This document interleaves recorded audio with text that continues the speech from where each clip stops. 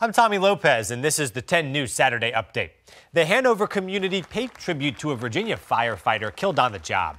Firefighters, deputies, troopers, and neighbors held a ceremony to dedicate a bridge overlooking I 295.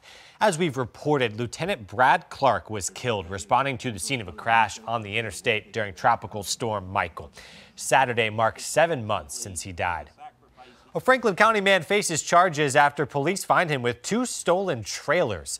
Roanoke County Police alerted the sheriff's office about a missing trailer. Deputies recognized it and they arrested Donovan Hodges.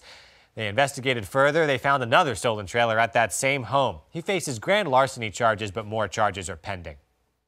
Remember, you can always get news, weather, and sports on the go with WSLS.com and the 10 News app. I'm Tommy Lopez, 10 News, working for you.